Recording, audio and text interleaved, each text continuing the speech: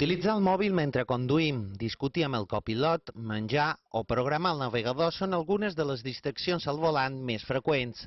Des del passat dilluns i fins al pròxim diumenge, la DGT du a terme una campanya per evitar aquestes situacions.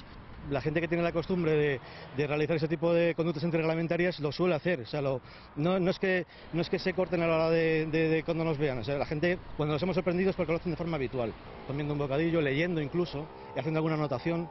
Entonces son conductes graves. Els tipus d'accidents més comuns provocats per aquestes distraccions al volant són xocar amb el cotxe de davant, els atropellaments i les sortides de la via.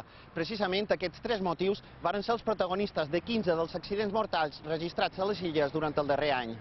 Les sancions van des dels 80 euros als 200 i la pèrdua de 3 punts. També es pot donar la circumstància que accions no prohibides pel Codi de Circulació acabin suposant una distracció.